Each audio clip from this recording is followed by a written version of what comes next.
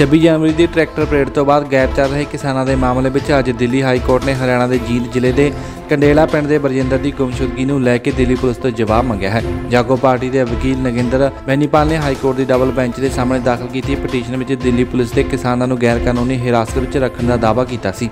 ਇਸ ਤੋਂ ਪਹਿਲਾਂ ਬਰਜਿੰਦਰ ਦੇ ਭਰਾ ਬਲਜੀਤ ਨੇ ਥਾਣਾ ਨਾਗਲੋਈ ਵਿਖੇ ਬਰਜਿੰਦਰ ਦੇ ਟਰੈਕਟਰ ਮਾਰਚ ਦੇ ਦੌਰਾਨ ਨਾਗਲੋਈ ਤੋਂ ਗਾਇਬ ਹੋਣ ਦੀ ਰਿਪੋਰਟ ਲਿਖਾਉਣ ਲਈ ਪਹੁੰਚ ਕੀਤੀ ਸੀ। ਇਸ ਬਾਰੇ ਮੀਡੀਆ ਨੂੰ ਜਾਣਕਾਰੀ ਦਿੰਦੇ ਹੋਏ ਰਾਜ ਸਭਾ ਮੈਂਬਰ ਸਰਦੇਵ ਸਿੰਘ ਢੀਂਡਸਾ, ਜਾਗੋ ਪਾਰਟੀ ਦੇ ਅੰਤਰਰਾਸ਼ਟਰੀ ਪ੍ਰਧਾਨ ਮਨਜੀਤ ਸਿੰਘ ਜੀਕੇ ਤੇ ਵਕੀਲ ਨਗਿੰਦਰ ਬੈਨੀਪਾਲ ਨੇ ਕੋਰਟ ਵੱਲੋਂ ਦਿੱਲੀ ਪੁਲਿਸ ਨੂੰ ਕੀਤੀ ਗਈ ਤਾੜਨਾ ਦਾ ਹਵਾਲਾ ਦਿੱਤਾ। ਢੀਂਡਸਾ ਨੇ ਕਿਹਾ ਕਿ ਬੈਨੀਪਾਲ ਦੀ ਅਗਵਾਈ ਹੇਠ ਸਾਡੇ ਵਕੀਲਾਂ ਦੀ ਟੀਮ ਲਗਾਤਾਰ ਲੋਕਾਂ ਤੱਕ ਮਦਦ ਪਹੁੰਚਾਉਣ ਦੀ ਕੋਸ਼ਿਸ਼ ਕਰ ਰਹੀ ਹੈ।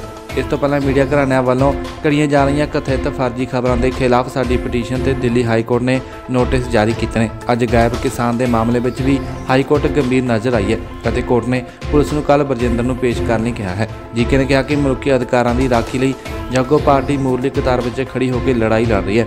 ਅੱਜ ਤੱਕ ਚੈਨਲ ਨੂੰ ਨੋਟਿਸ ਕਰਵਾਉਣ ਕੰਗਣਾ ਰਣੌਤ ਦੇ ਟਵੀਟ ਹਟਾਉਣ ਨਿਸ਼ਾਨ ਸਾਹਿਬ ਸਾੜਨ ਵਾਲਿਆਂ ਖਿਲਾਫ ਪੁਲਿਸ ਨੂੰ ਸ਼ਿਕਾਇਤ ਦੇਣ ਸਣੇ ਜੇਲ੍ਹ ਵਿੱਚ ਬੰਦ ਕਿਸਾਨਾਂ ਦੇ ਮਨੁੱਖੀ ਅਧਿਕਾਰਾਂ ਪ੍ਰਤੀ ਅਸੀਂ ਮੂਰਲੀ ਕਤਾਰ ਵਿੱਚ ਲੜਾਈ ਲੜਦੇ ਹਾਂ। ਅਸੀਂ ਝੂਠੇ ਦਾਅਵਿਆਂ ਅਤੇ ਡਰਾਮਿਆਂ ਦੇ ਵਿੱਚ ਯਕੀਨ ਕਰਨ ਦੇ ਬਜਾਏ ਕੰਮ ਕਰਨ ਦੇ ਵਿੱਚ ਵਿਸ਼ਵਾਸ ਰੱਖਦੇ ਹਾਂ। ਜੇਕਰ ਹੁਣ ਵੀ ਕਿਸੇ ਗੈਪ ਕਿਸਾਨ ਦੇ ਪਰਿਵਾਰ ਦਾ ਕੋਈ ਮੈਂਬਰ ਸਾਡੇ ਤੱਕ ਪਹੁੰਚ ਕਰੇਗਾ ਤਾਂ ਅਸੀਂ ਉਹਨਾਂ ਨੂੰ ਲੱਭਣ ਲਈ ਹਰ ਕਾਨੂੰਨੀ ਹੀਲੇ ਦੀ ਵਰਤੋਂ ਕਰਨ ਲਈ ਅਸੀਂ ਤਿਆਰ ਹਾਂ। ਜੀਕੇ ਨੇ ਕਿਹਾ ਕਿ ਸਾਡੀ 20 ਵਕੀਲਾਂ ਦੀ ਟੀਮ ਇਸ ਕੰਮ ਵਿੱਚ ਲੱਗੀ ਹੋਈ ਹੈ। ਬੈਨੀਪਾਲ ਨੇ ਦੱਸਿਆ ਕਿ ਸਾਡੇ ਨਾਲ ਸੰਪਰਕ ਕਰ ਰਹੇ ਪਰਿਵਾਰਾਂ ਵੱਲੋਂ ਜਾਣਕਾਰੀ ਆਈ ਹੈ ਕਿ ਦਿੱਲੀ ਪੁਲਿਸ ਦੀ ਗੈਰ ਕਾਨੂੰਨੀ ਹਿਰਾਸਤ ਵਿੱਚ ਕਈ ਲੋਕ ਅਜੇ ਵੀ ਬੰਦ ਨੇ।